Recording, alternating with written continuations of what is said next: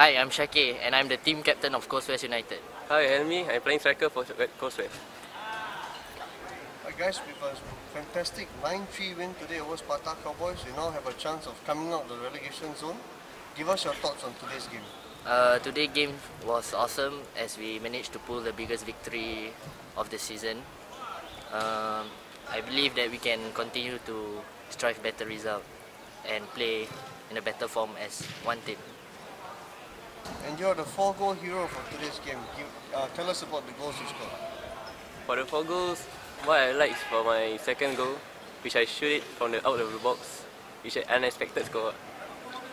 Alright guys, so do you, do you think you have a realistic chance of getting out of the relegation zone with the form that you're in now?